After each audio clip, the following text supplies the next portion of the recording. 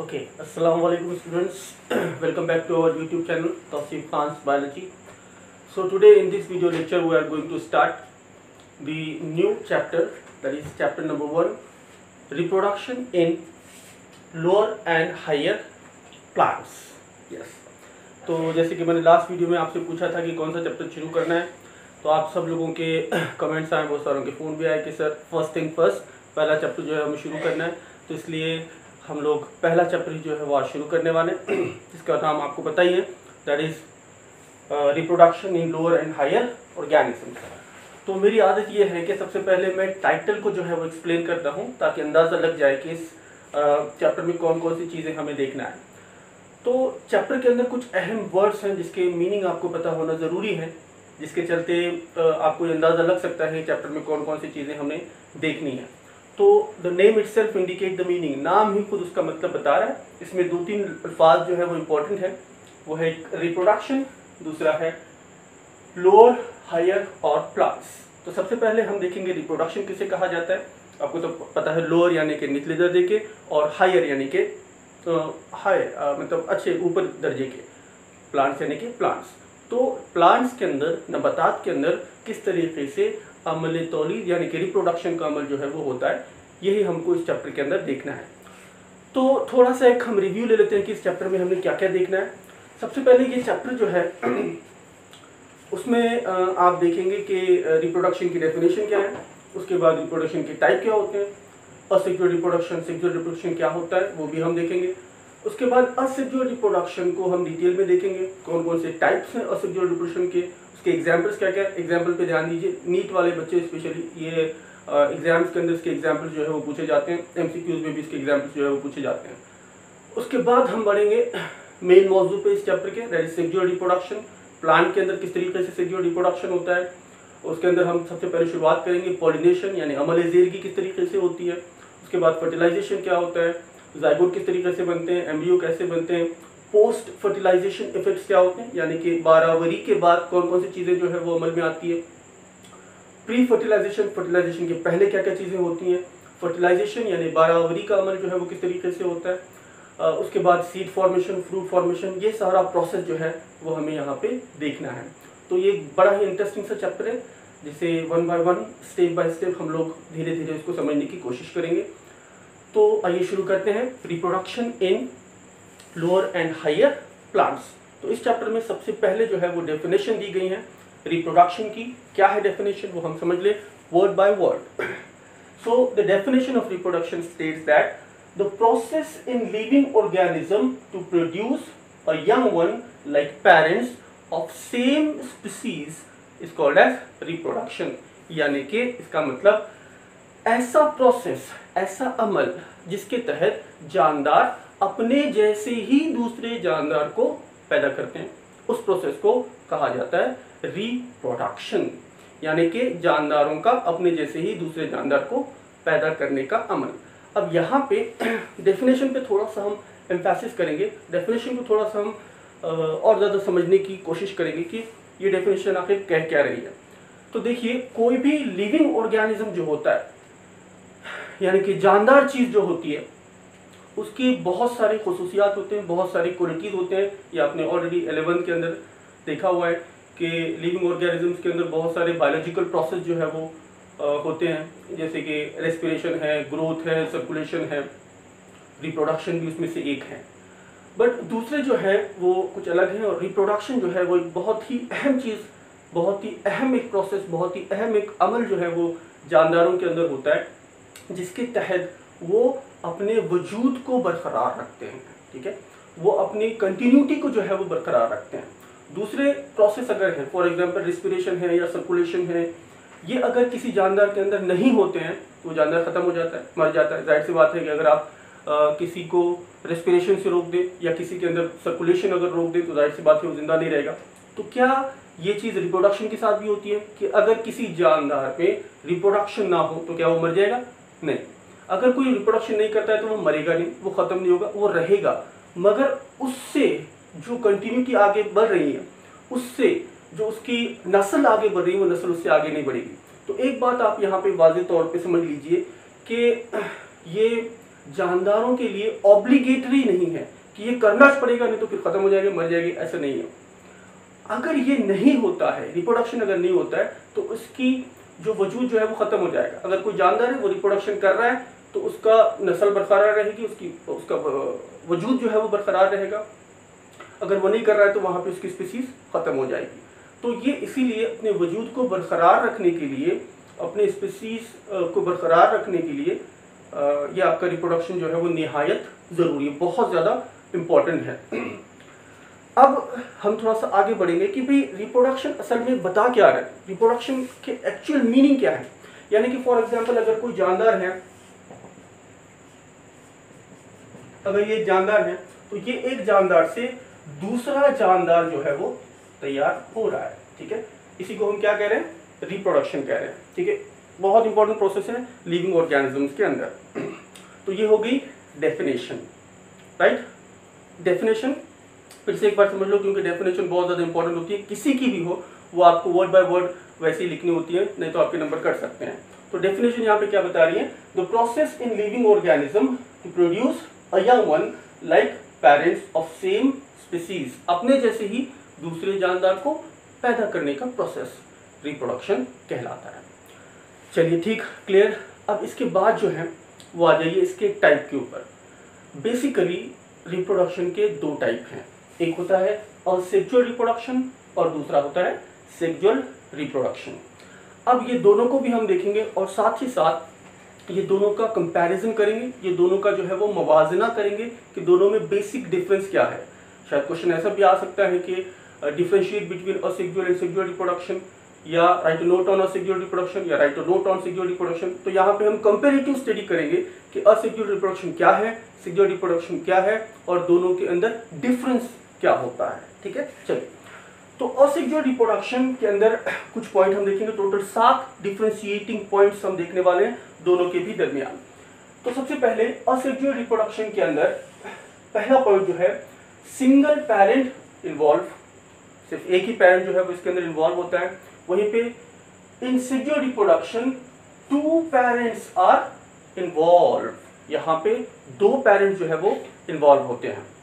ये बड़ा एक बेसिक सा डिफरेंस है दोनों के बीच में। असिक्योर रिप्रोडक्शन एक पेरेंट सिक्योर रिप्रोडक्शन दो पेरेंट मेल एंड फीमेल ये दोनों की कॉम्बिनेशन जो है वो दूसरा जानदार जब तैयार होगा तो उसे कहा जाएगा सिक्योर रिप्रोडक्शन से वो जानदार तैयार हो गया। अब यहाँ पे सिर्फ़ एक ही जानदार होता है और वो एक ही जानदार दूसरा जानदार तैयार करता है। उससे प्रोसेस को हम कहेंगे असिक्योर रिप्रोडक्शन दूसरा पॉइंट जो है, वो है नो प्रोडक्शन ऑफ़ गैमेट्स और यहीं पे सिक्योर रिप्रोडक्शन में आप देखेंगे प्रोडक्शन ऑफ़ गैमेट्स यानी कि असिक्योर रिप्रोडक्शन में कोई गैमेट्स तैयार नहीं होंगे, बल्कि आपके सिक्योर रिप्रोडक्शन के अंदर गैमेट्स तैयार होंगे मेल गैमेट और फीमेल गैमेट अब अगर ह्यूमन बींग की बात करें तो मेल के अंदर जैसे स्पॉन्स तैयार होते हैं फीमेल के अंदर जैसे ओवम तैयार होते हैं, और वो दोनों के कॉम्बिनेशन के बाद जायगुड बनता है, फिर एम्ब्रियो बनता है। इस तरीके से प्रोसेस जो है वो आगे चलती है। But when you are talking about the asexual reproduction वहाँ पे कोई गैमेट जो है वो तैयार नहीं होगा। That is the second important point अब आ जाइए तीसरे पॉइंट पे third important point only mitotic division take place in asexual reproduction, whereas in sexual reproduction meiotic division followed by mitotic. यानी कि सेक्सुअल रिप्रोडक्शन के अंदर मियोसिस भी होता है माइटोसिस भी होता है, ठीक है? और आपको पता ही है कि सेल डिवीज़न की दो टाइप है माइटोसिस और मियोसिस फलगी तकसीम, दो किस्म की होती है मियोसिस और माइटोसिस अब असेक्योर रिप्रोडक्शन में सिर्फ़ और सिर्फ़ माइटोसिस होगा, वहीं पे सेक्जुअल रिप्रोडक्शन में पहले मियोसिस होगा और उसके बाद माइटोसिस दोनों चीज़ें यहाँ पे आपको देखने को मिलेगी सेक्जुअल रिप्रोडक्शन में। ठीक है, हो गए कितने पॉइंट तीन पॉइंट चौथा point offsprings are identical in asexual reproduction where offsprings are has characteristics of both parents when you are talking about sexual reproduction. तो चौथा पॉइंट हमें क्या बता रहा है? कि असेक्सुअल रिप्रोडक्शन के अंदर ऑस्प्रिंग्स जो होते हैं, वो आइडेंटिकल होते हैं। ऑस्प्रिंग्स यानी कि आप औलाद को कह लीजिए किड्स को कह लीजिए, या एक जानदार से जो दूसरा जानदार तैयार हो रहा है, उसे आप ऑस्प्रिंग्स कह लीजिए। तो असेक्सुअल रिप्रोडक्शन के अंदर होता ये है कि ऑस्प्रिंग जो है, वो आइडेंटिकल होते हैं, यानी कि एक जैसे होते हैं सेम होते हैं, उनमें ज़्यादातर कोई डिफरेंस नज़र नहीं आता है। बट जब आप बात करते हैं सेक्सुअल रिप्रोडक्शन की सो ऑफस्प्रिंग्स यानी कि औलाद has character of both parents यहाँ पे दोनों के भी खसूसियात जो है वो मौजूद होंगे। मेल के भी फीमेल के भी फादर के भी मदर के भी। दोनों भी कॉम्बिनेशन का मिला जुला असर जो है वो सेक्सुअल रिप्रोडक्शन के ऑफस्प्रिंग्स के अंदर आपको देखने को मिलेगा। ये हो गया चौथा पॉइंट आइए पाँचवें पॉइंट पे। लेस वेरिएशन इज़ ऑब्ज़र्व कहाँ पे in asexual reproduction and more variation is observe in asexual reproduction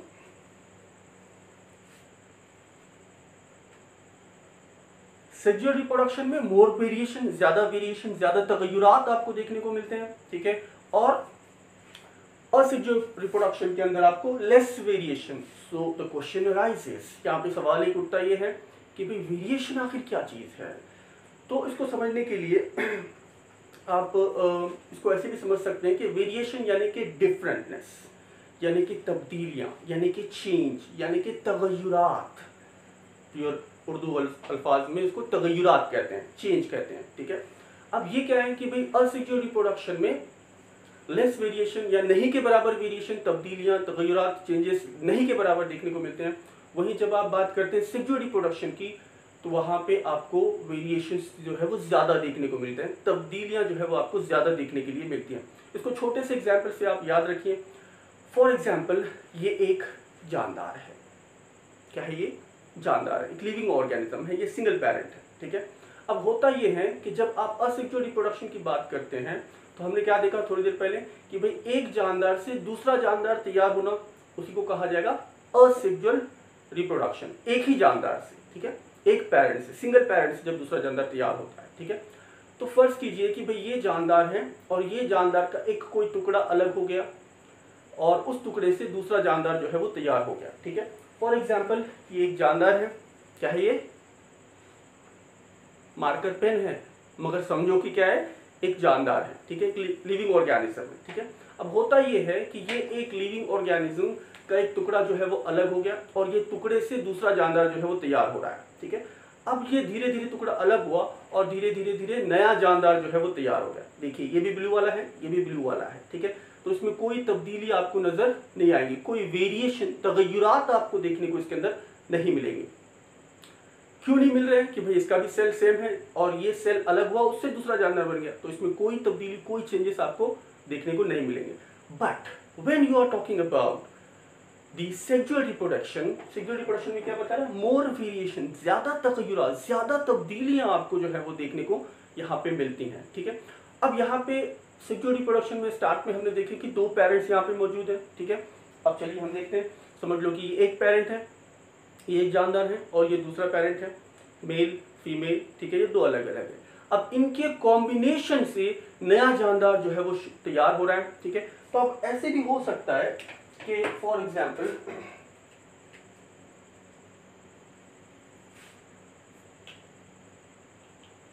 देखिए, हो ये रहा है कि ये दोनों का कॉम्बिनेशन हुआ और तीसरा जानदार यहाँ पे तैयार हो गया, ठीक है? देखिए मेल ब्लू है फीमेल ब्लैक है, ठीक है? और इनसे जो तैयार हो गया, वो दोनों का कॉम्बिनेशन है। इसके अंदर ब्लू भी है ब्लैक भी है, ठीक है? तो इसका मतलब ये हुआ कि ये दोनों भी कैरेक्टर ये दोनों के कैरेक्टर मेल और फीमेल मदर और फादर के कैरेक्टर्स इसके अंदर आ गए। और ये अब ये इनके जैसा दिख रहा क्या? It is not exactly same as the parents are but it has the characters of both of them ये दोनों के भी खसूसियात इसके अंदर मौजूद है। दैट इज़ वेरिएशन ये है तब्दीली, ये है चेंज ये है तगजुरात जो आपको सेक्सुअल रिप्रोडक्शन के अंदर देखने को मिलेगी, मगर असेक्सुअल रिप्रोडक्शन के अंदर आपको देखने को नहीं मिलेगी, ठीक है? दैट वाज द पॉइंट ये एक पॉइंट था। अब आ जाइए नेक्स्ट पॉइंट पे। नेक्स्ट पॉइंट क्या है? नेक्स्ट पॉइंट है not useful we talking about the asexual reproduction not useful for natural selection in evolution इसमें दो तीन भारी भारी वर्ड्स इसमें इस्तेमाल कर लिए गए हैं। नेचुरल सिलेक्शन भी है और इवोल्यूशन भी है। तो इसकी मीनिंग क्या है वो हम पहले समझ लें। असेक्योर रिप्रोडक्शन की हम बात कर रहे हैं और असेक्योर रिप्रोडक्शन के अंदर यहाँ पे छठे पॉइंट में बताया गया है point number six that not useful for natural selection in evolution evolution आपको समझना ज़रूरी है पॉइंट समझने के लिए। और इवोल्यूशन के माने होते हैं इरतखा। यानी कि स्लो और स्टडी धीरे धीरे धीरे धीरे चेंजेस आना और वो चेंजेस एक नस्ल से दूसरी नस्ल में मुंतकिल होते रहना ताकि कुछ जनरेशन के बाद जो है वो एक नई जनरेशन वजूद में आ जाए। That is called as evolution उसी को कहा जाएगा इरतखा या इवोल्यूशन और according to Darwin theory Darwin के नज़रिए से ह्यूमन बींग्स जो है, इंसान जो है, वो बंदरों के अंदर इवोल्यूशन हुआ साइंसी एतबार से। साइंस ही बता रहा है, ठीक है, बहुत सारे रिलीजियस लोग बिलीव नहीं करते हैं इस थेरी को बट साइंस ये बता रहा है कि भाई बंदरों के अंदर इवोल्यूशन हुआ। और धीरे धीरे धीरे धीरे कई हज़ार करोड़ साल बाद इंसान जो है वजूद में है। तो अब हुआ क्या असल में एवोल्यूशन के अंदर कि भाई बंदरों में धीरे धीरे तब्दीलियाँ आने गई धीरे धीरे तब्दीलियाँ आने चेंजेस जो है वो आगे के जनरेशन में कैरी फॉरवर्ड हो रहे हैं। और कई जनरेशन बाद जब इंसान पलट के देखता है कि भाई हम कहाँ से आए, हमारे वजूद क्या है तो उसको लास्ट में जो है वो बंदर नज़र आते हैं बंदरों में इवोल्यूशन हुआ और आगे के जो है वो इंसान वजूद में आ गए। तो ये इवोल्यूशन का कंसेप्ट असिक्योर रिप्रोडक्शन में है ही नहीं, ठीक है? तो इसीलिए छठा पॉइंट क्या बता रहा है? नॉट यूजफुल ठीक है? कारगर नहीं है, ठीक है? यूजफुल नहीं है। For natural selection in evolution अब क्यों नहीं है इसको समझ लो? क्योंकि ये एक फॉर एग्ज़ाम्पल असिक्योर रिप्रोडक्शन करने वाला एक जानदार है। इससे अगर सेल अलग हो रहा है और दूसरा जानदार तैयार हो रहा है तो वेरिएशन की बात ही नहीं आ रही है, ठीक है? तब्दीलियों की बात ही नहीं आ रही है। चेंज या डिफरेंस की बात नहीं आ रही है। तो सालों साल और जनरेशन आफ्टर जनरेशन इसमें कोई भी चेंजेस नहीं आएँगे, कोई भी तब्दीली नहीं आएगी। ये जानदार से ऐसा ही जानदार, फिर वैसे जानदार से फिर वैसे ही जानदार। तो इसमें कोई इवोल्यूशन या इर्तिखा का कोई यहाँ पे पॉइंट जो है वो नहीं आता। तो ये यूजफुल नहीं है इवोल्यूशन के लिए, ठीक है? अब जब आप बात करते हैं सेक्जुअल रिप्रोडक्शन की very useful for natural selection in evolution कुदरती इंतखब में नेचुरल सिलेक्शन के अंदर जो है, वो इवोल्यूशन एक बहुत अहम रोल अदा करता है और जो सेक्जुअल रिप्रोडक्शन उसको बहुत ज़्यादा सपोर्ट करता है, ठीक है? जैसे अभी थोड़ी देर पहले हमने एग्ज़ाम्पल देखा ब्लू और ब्लैक का तो उसमें चेंजेस आ गए। फिर उनका जब जनरेशन आगे बढ़ेगा, फिर उसमें चेंजेस आएँगे, फिर उनका जनरेशन जब आगे बढ़ेगा, उसमें भी वेरिएशन देखने को मिलेंगे। तो धीरे धीरे धीरे हज़ारों साल बाद एक नई स्पीसीज वजूद में आ सकती है इवोल्यूशन हो सकता है। और ये सेक्चुअल रिप्रोडक्शन जो है उसको बहुत ज़्यादा सपोर्ट करता है। इवोल्यूशन के लिए, ठीक है? That is the six point अब आइए लास्ट पॉइंट पे कुछ इसके एग्ज़ाम्पल देख लें कि असेक्जुअल रिप्रोडक्शन आखिर होता कहाँ पे, कैसे होता है? और सेक्जुअल रिप्रोडक्शन कैसे होता है और कहाँ पे होता है, किस पे होता है? तो asexual reproduction occurs by budding fusion fragmentation etcetera etcetera तो यहाँ पे कुछ एग्जाम्पल्स दिए गए हैं जिसके ज़रिए से असिक्योर रिप्रोडक्शन जो है वो कैरी फॉरवर्ड होता है। इन सारी चीज़ों को हमें डिटेल में देखना है, आगे चल के। Occurs by budding fusion fragmentation ये सारी वेजिटेटिव प्रोपेगेशन वगैरह, ये सारी जो चीज़ें हैं, ये धीरे धीरे जो है वो असिक्योर रिप्रोडक्शन में होती है और एक जानदार से दूसरा जानदार जो है वो वजूद में आ जाता है, ठीक है?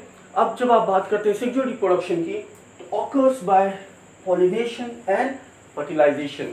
तो सेक्सुअल रिप्रोडक्शन जो है प्लांट के बारे में जब हम देखते हैं तो प्लांट के अंदर सेक्सुअल रिप्रोडक्शन पॉलिनेशन से होता है।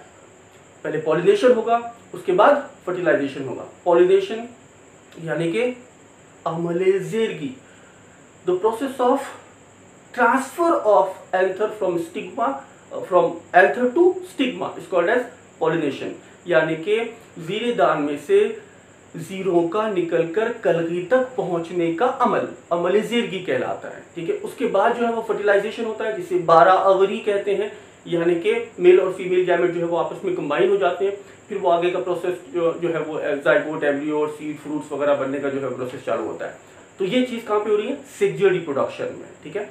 तो ये दो चीज़ें हम लोगों ने यहाँ पे देखी हैं, उनके एग्जाम्पल्स के तौर पे।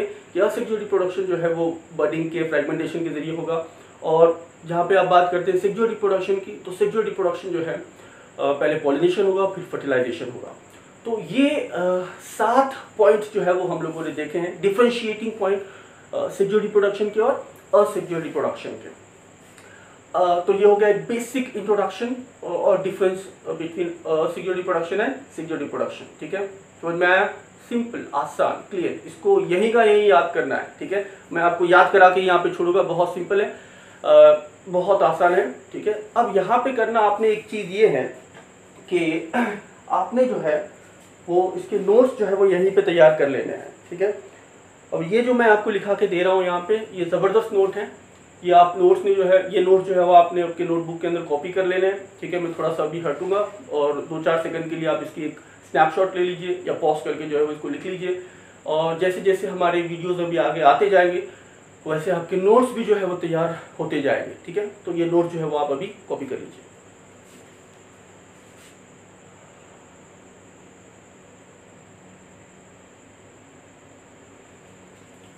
ओके चलिए। तो ये हो गया आपका डिफरेंस असेक्चुअल में और सेक्चुअल में। तो जैसे मैंने कहा कि आपको यहीं पे याद करना छोटी सी डेफिनेशन है ठीक है?